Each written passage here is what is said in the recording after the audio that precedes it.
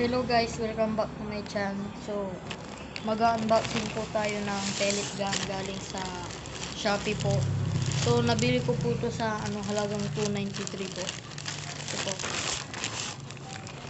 293. 293 po. Nababasa niyo po. 293. So, let's get started na po guys. Unbox na po natin siya.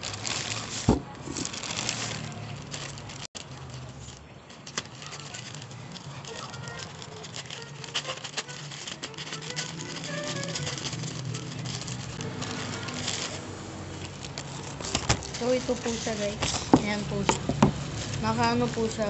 Naka seal po po siya ng bubble wrap. So, ano pangalan natin. So, guys, may sasabihin po ako. Ay, ingat po kayo sa paggamit ng mga sharp na bagay, mga chilio blade, ganun po guys. Mag-ingat po kayo kasi baka masulit kayo. Ito na po siya.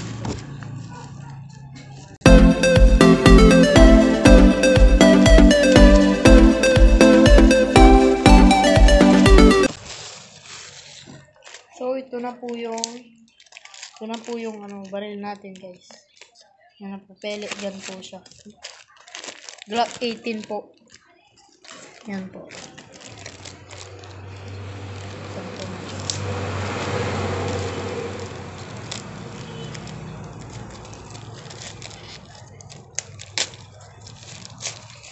Wow, ang ganda po niya, guys. Ang ganda po. Ito po siya, oh. Meron po siyang ano, kasamang bala. Ito po yung bala. May kasama siyang free na bullet. Pellet po siya, pellet. Ito na po.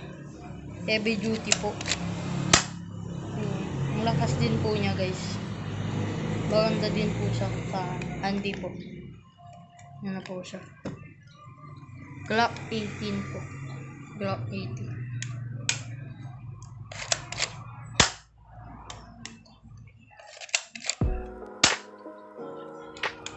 Po siya.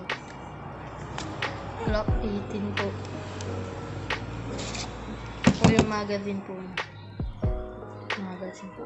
Ma mabigat din po siya guys. So, lagyan po natin siya ng bawal. So, guys, ah i-fire test na po na natin siya. So, guys, ito na po siya. So, pa-fire test na po natin. So, full mags po siya. Full mags. Full mags po. Testing na po natin. Oh. So, strike po siya. Ah, maganda po. Maganda po siya, guys.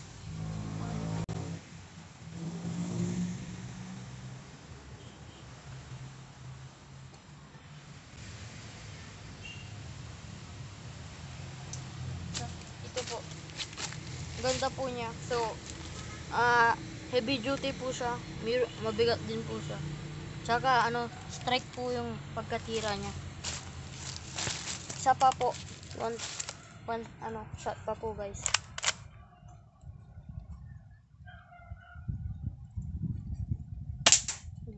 Talagang strike po siya guys. Ang galing. So, ito po. So, ayan po.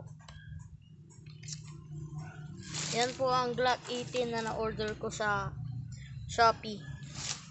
So, guys, dyan na po magtatapos ang ating review for today. Ah, huwag mong kakalimutan mag-iwan ng subscribe at pindutin mo na rin ang bell button para ma-notify ka sa mga new uploads. So, see you to my next video guys. Bye-bye.